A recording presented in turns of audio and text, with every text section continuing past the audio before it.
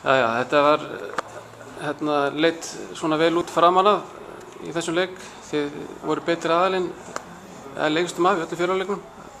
Svona sem lítið í loftinu að FH verða að fara að gera eitthvað. Hvað, hvað er því svona fyrstu viðbröð eftir?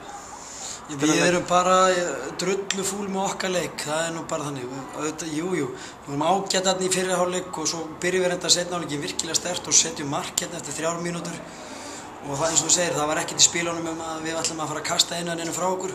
Svo bara hægt og síðandi að þá gefum við eftir sérstaklega á miðsvæðinu, við erum bara eftir í alla bolta og við vinnum ekki tæklingar og það er ná síðan að koma flottum boltum inn fyrir vörðunni hjá okkur trekk í trekk. Og ég held að við getum bara þakka fyrir að þetta fóð bara 3-2 því miður Já, þið fengu að vísu mark hérna á besta tíma rétt fyrir, rétt fyrir lok. Já, rétt fyrir lok og svo- fyrir og besta strax- tíma og svo og strax í upphafi. Algjörlega 2-0. Já, við leit- ekki leitur út. lokaleik. Nei, hmm. já. Hvað, hérna, Þannig að við erum drullufúl já.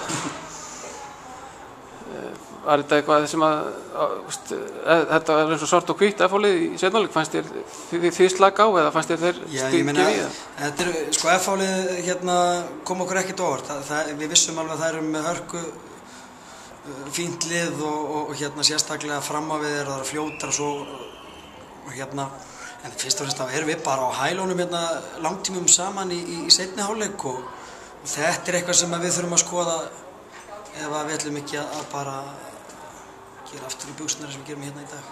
Já, takk fyrir það. Já.